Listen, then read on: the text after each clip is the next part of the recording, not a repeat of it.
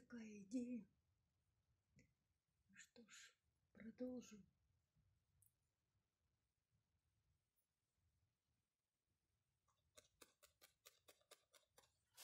Так, чтобы у нас чтобы очень удобнее было, я сейчас подставлю такую ставочку и продолжу.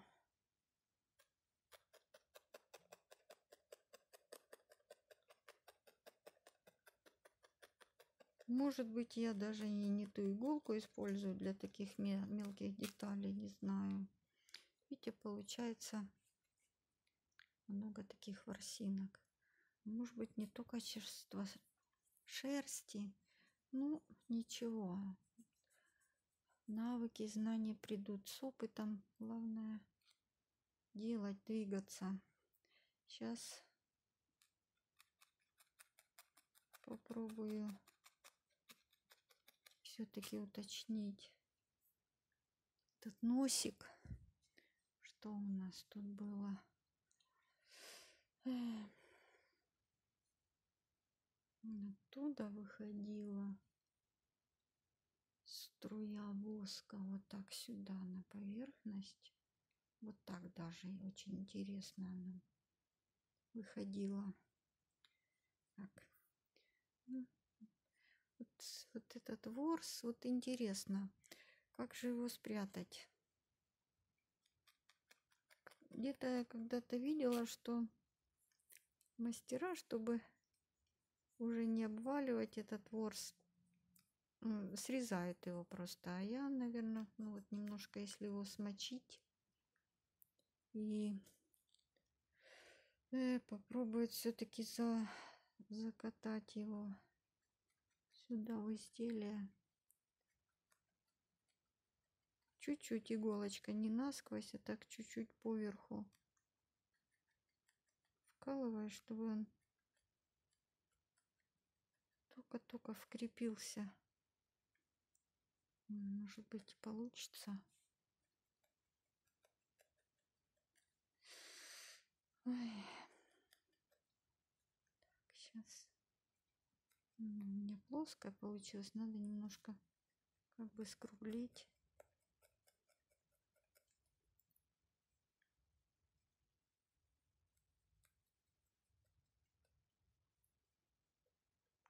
легонечко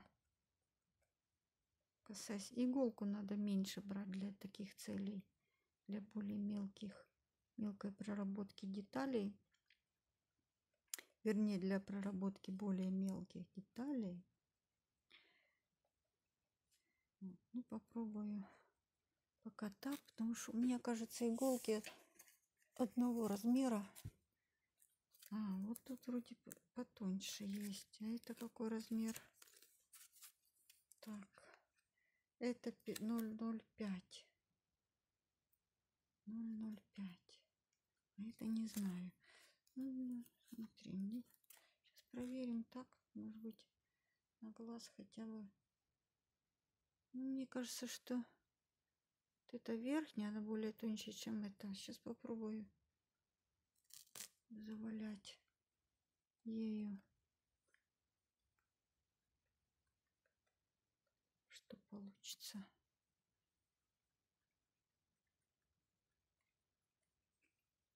Получается. Ну вот так еще мастера берут так между пальцами. И очень мелкие детали. Вот в пальцах. Ну, мне кажется, она даже по ощущениям тоньше, мягче заходит. Мне кажется, она заравнивает. Так. Эти у меня без надписи. Не знаю. А вот номер 40 тонкие. О, номер 40 тонкие. Вот сюда надо было смотреть. Ладно, будем знать. Уже когда поработаешь, тогда, конечно, начинаешь толк этот понимать, чувствовать и иглу, и шерсть, она же тоже разной фактуры бывает. Кажется, она все-таки тоньше предыдущей стороны. Мне нравится. И получается объем этой капельки. Вот.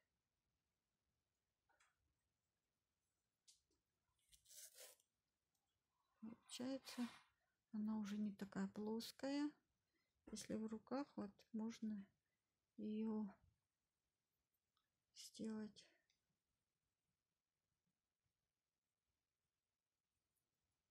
Конечно эти наперсточки это просто чудо. Спасают мои пальчики от укусов это иглы. О как здорово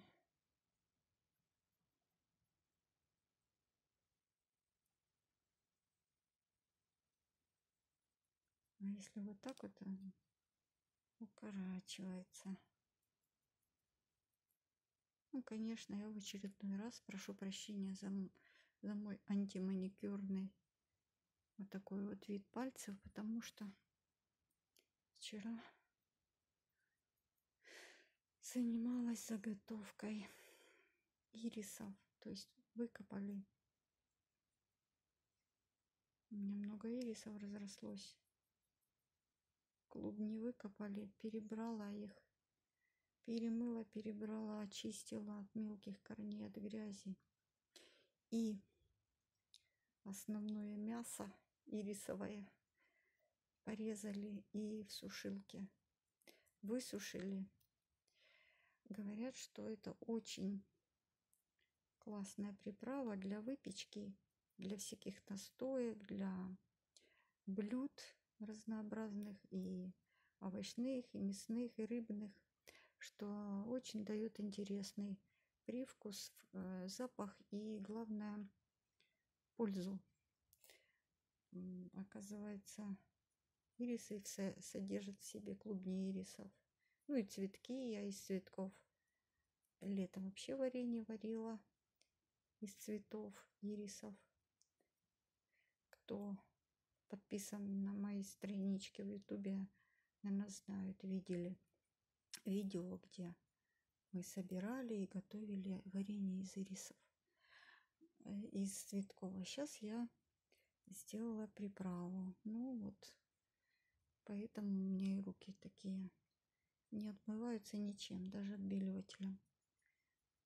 А ждать два-три дня, пока они отмоются, вымоются, и пока будет красивый маникюр, мне что-то не очень хочется. Я думаю, кому не понравится, тут просто выключит и не будет смотреть это видео. А кого заинтересует, я думаю, мой маникюр не испугает. Вот. Так, смотрите, мы, вернее, я сделала примерное подобие вот струи как бы восковой, которая вот так вот стекала. Большая была струя, это поменьше этой. Вот такая. И они образовали форму носа нашей свечи. Вот где-то так, пока приваляю, пока чуть-чуть так вот прикреплю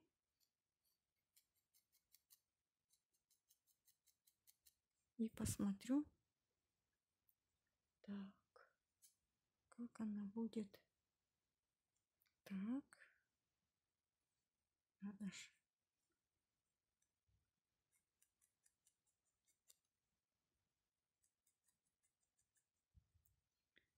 Привалять.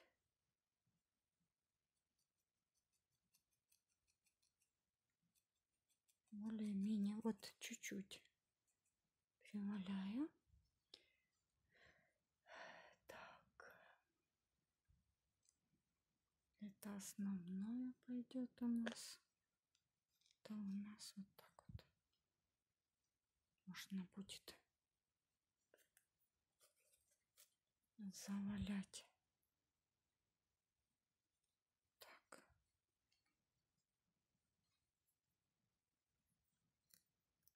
Более мелко, это более крупное. Возьмем его. Тут надо утончать.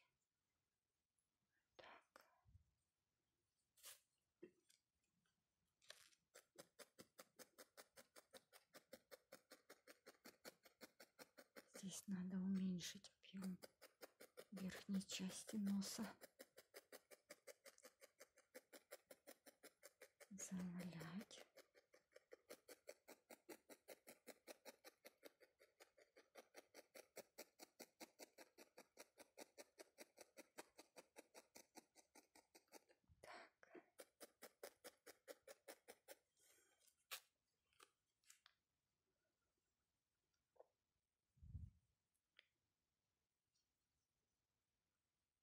и свести его такую тоненькую струечку.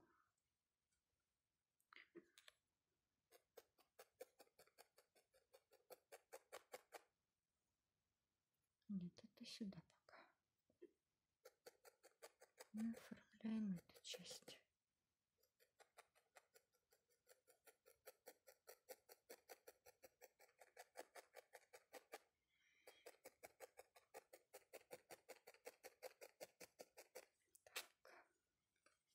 и поворачиваем оформляем с этой стороны. Сейчас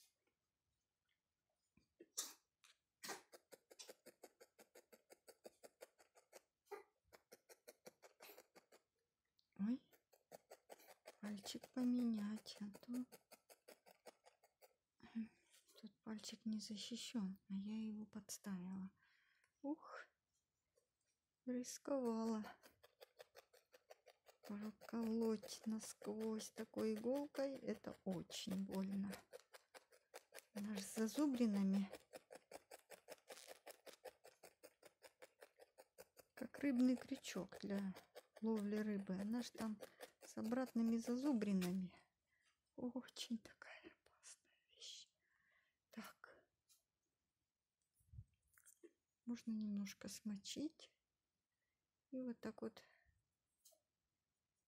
чуть-чуть прикатать.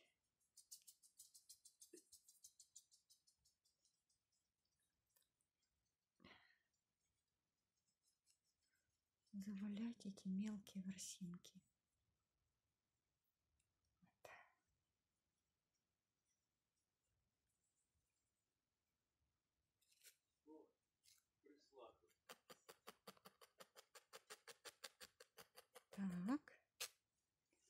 И можно даже, наверное, уже теперь можно и в руки чуть-чуть привалять.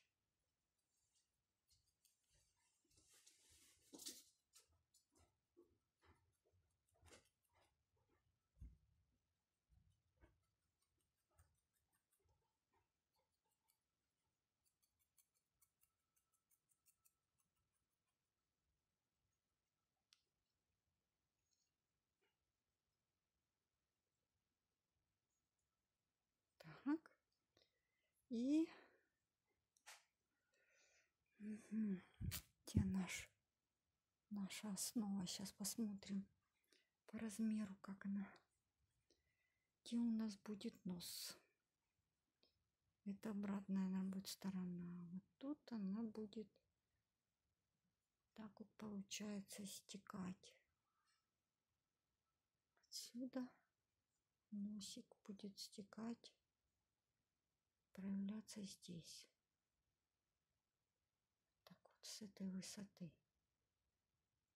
Надо его немножко повыше. Значит, все-таки выше немножко надо высоту сделать. Большую сейчас.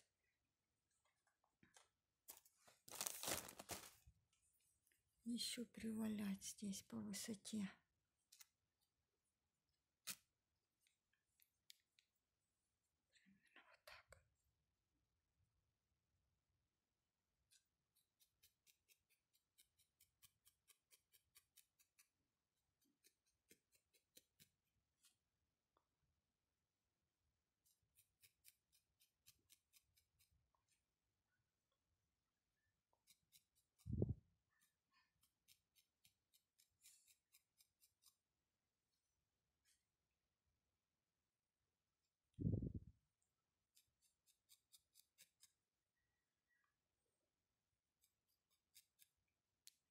Так, пока несколькими стежками. Потом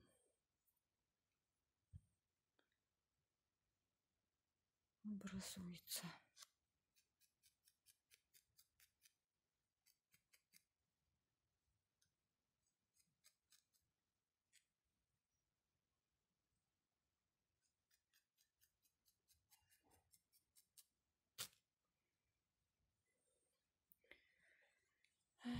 Примерим нос. Нос большой получился. И куда его примостить? Так, по идее, надо, наверное, еще просто его вот здесь, когда мы будем делать складки, его же форма соберется, под, поднимется и уменьшится, укоротится носик. Поэтому надо сейчас еще потыкать, потыкать, чтобы... Так, здесь вот это аж вот так сюда надо так завести сюда. Так, сюда. Привалять.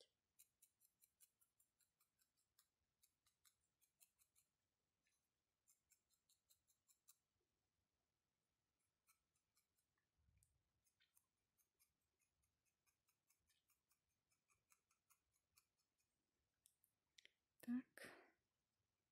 И таким образом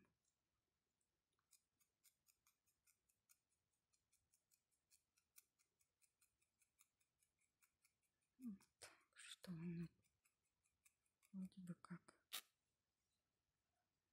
таким образом воск стекал образовал нам форму носа здесь еще такую складку мы будем делать насквозь прокалывать и таким образом шерсть будет более уминаться.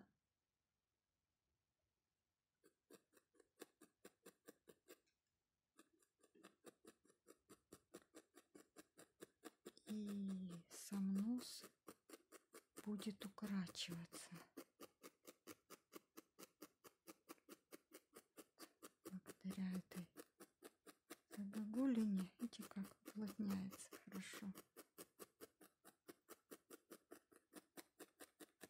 Проявим эту линию. Вот. А, а сзади что получилось? Видите, как? А сзади мы просто потом чуть-чуть легонечко просто заровняем чуть-чуть, потому что она все равно будет привалиться потом к основной к основной вот части. Где еще будет? Где будут у нас губы я еще не знаю. Может быть здесь. Вот еще вот так вот будет нос. Где у нас будут губы и глаза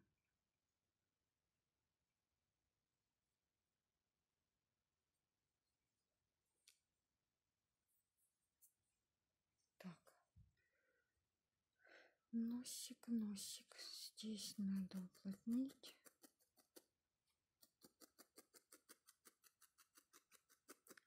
И он таким образом искривится и у, у еще укоротится. Вот как он проявится у нас. Он в эту сторону пошел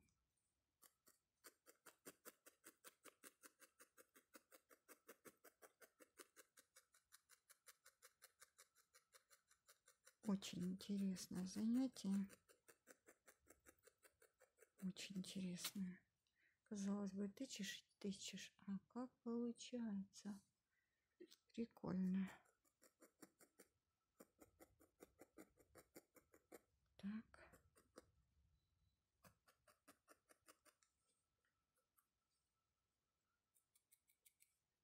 Еще кончик носа надо закруглить, уплотнить. Вот, как бы загладить.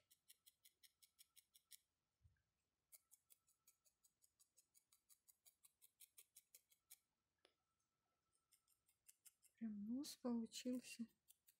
Это отдельно живущая деталь. Ой, как у Гоголя. Нос. Надо перечитать. Давно я читала еще его. Еще в детстве. В школе, в институте.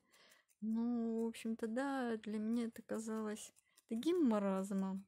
Ну, как-то нос гуляет по городу, ходит. Ну, это вообще было для меня непонятно. А сейчас надо с новой точки зрения это все перечитать. Может, даже какую-то идею там выловить. Ой. Так, сейчас пойду поищу. Была у меня книга натуральная, но сейчас в связи с переездом где-то она осталась в моем бывшем доме. А сейчас надо хоть в интернете поискать. Да найду. Найду, послушаю для вдохновения. Точно надо почитать Гоголя. Может, он даст понимание.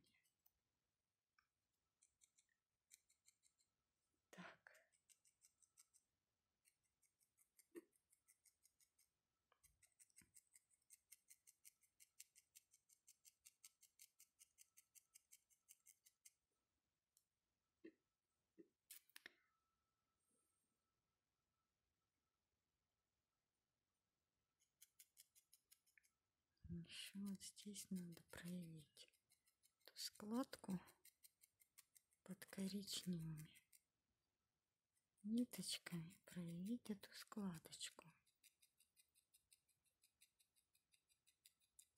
И чем больше я сюда тыкаю, тем более уменьшается размер носика.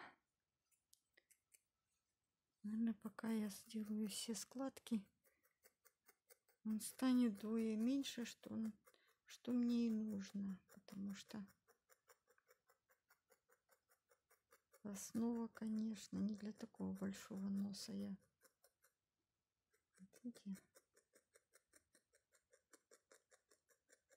Надо уплотнить, уточнить эту складку.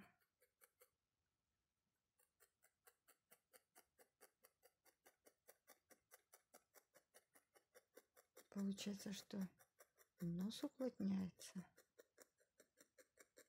И появляется у него такой рельеф.